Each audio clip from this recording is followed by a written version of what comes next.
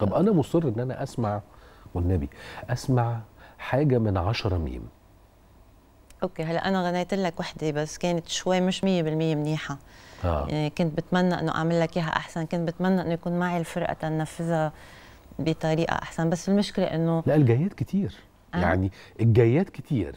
قولي لي. أنا جاية أنا مصر وبقول يلا بينا والفرقة ونقعد.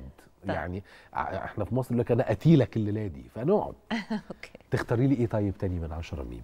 آه، أحلى قصة غرام. حلو. Okay. يلا.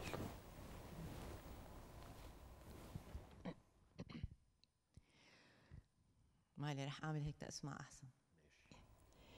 أحلى قصة غرام هي اللي ما انعاشت أحلى قصة غرام الكلمة اللي بتعيش كل العمر وما بتخلص مهما طالت أحلى قصة غرام هي اللي منعاشت أحلى قصة غرام الكلمة اللي منقالت كل ما كانت بعيدة كل ما صارت قريبة.